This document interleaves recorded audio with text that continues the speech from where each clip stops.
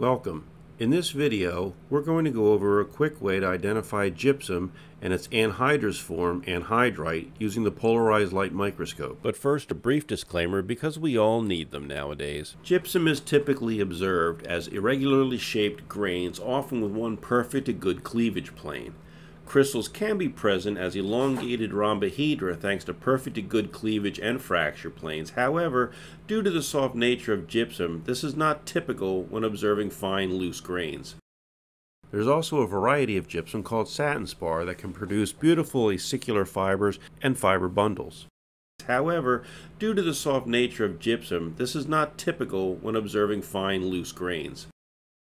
When viewed under cross polars, the extinction angle of gypsum often appears to roll across the surface. This is due to the soft nature of the mineral that often results in slightly curved crystal masses. Gypsum has a moderate refractive indices around 1.519 to 1.53. A rapid way to check the refractive indices is to place the particles in the 1.528 refractive index liquid. Your grains under a central stop dispersion staining should yield a blue to slight magenta color. Now as I've mentioned, gypsum has a moderate refractive indices of roughly 1.52 to 1.53. The anhydrous phase of the mineral, anhydrite, has a refractive indices of 1.567 up to 1.618.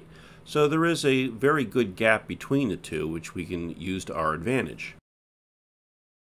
But first let's take a quick look at anhydrite mounted in 1.592 refractive index media. You'll find the grains exhibit less irregularity than gypsum. In addition, the cleavage and fracture are much more distinct. This is all due to the fact that anhydrite has a higher hardness, 3 to 3.5, versus gypsum at only 2. This is a direct result of it being an anhydrous mineral, whereas gypsum is carrying with it two water molecules. Here you can see the irregular feathered edges common to the softer gypsum grains compared to the clean cleavage and fracture of the anhydrite. In addition, gypsum tends to contain deformations in the surface compared to the relatively clean crystals observed in its anhydrous sibling. A quick check in 1.592 refractive index liquid reveals that anhydrite will give you a vibrant blue and yellow dispersion staining color using the central stop dispersion lens.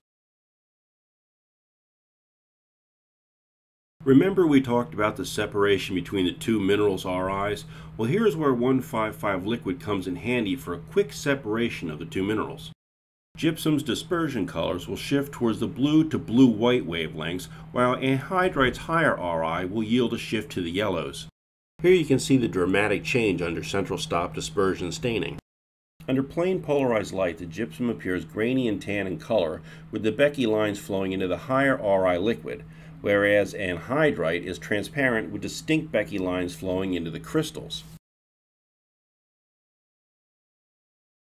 Here we come to the end of our little tutorial on gypsum. We also covered its sister mineral, anhydrite. There's one other, that's bassanite, which I did not go over, but it's mostly found as plaster of Paris and produced by heating gypsum to drive off the bound water. It typically is not observed as the mineral bassanite since it tends to absorb moisture and revert back to its dihydrate form.